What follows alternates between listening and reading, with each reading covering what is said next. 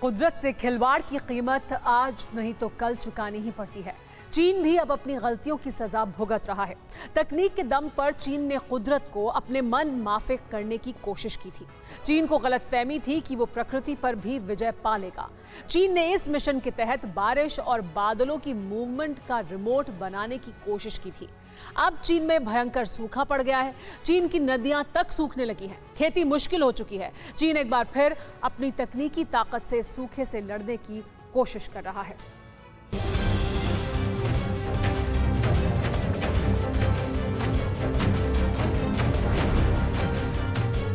की नदियाँ सूखने लगी, ज़मीन में दरारें पड़ने लगी।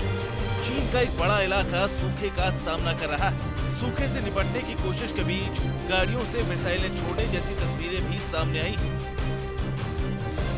आखिर इन मिसाइलों और सूखे का क्या कनेक्शन चीन को आसमान में धमाकों से क्या मिलने वाला है? ये भी आपको बताएँगे लेकिन पहले ये तस्वीरें देख। यांगसी नदी के ऊपरी हिस्से में जलस्तर अपने सबसे निचले स्तर पर पहुँच गया है। चीन की नदी न सिर्फ़ खेतों की सिंचाई के लिए पानी देती है, बल्कि बिजली का उत्पादन भी करती है। लेकिन अब पानी की कमी से खेत सूख चुके हैं। बिजली का प्रोडक्शन बंद। चीन के कई हिस्सों में पिछले 60 साल की सबसे प्रचंड गर्मी पड़ रही है।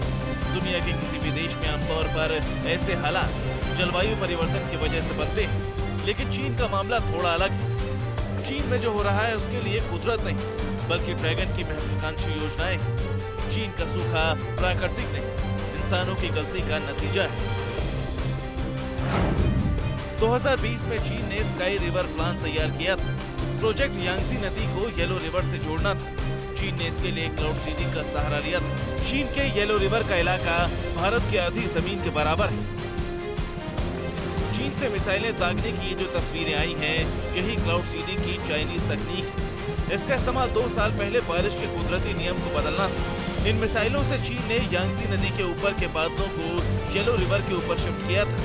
चीन ने कुदरत के साथ खूब खिलवाड़ किया और नतीजा एक साल बाद ही दिखने लगा। चीन के स्काई रिवर प्लान के ऐलान के एक साल बाद 2021 में सबसे पहले खबर आई। चीन की सबसे बड़ी नदी सूख रही है। चीन की यांगसी नदी में पानी का लेवल कम होने लगा है और अब 2022 में सूखे ने विकराल रूप ले लिया है। चीन के Yunnan, Sichuan Hubei Hunan Jiangxi Anhui और चियांगसू प्रांत को सूखे का सामना करना पड़ रहा है। चीन में कुदरत की विनाशलीला गजब नज़र आती है। एक तरफ़ सूखा है तो दूसरी तरफ़ येलो रिवर बेसिन में बाढ़ आई हुई।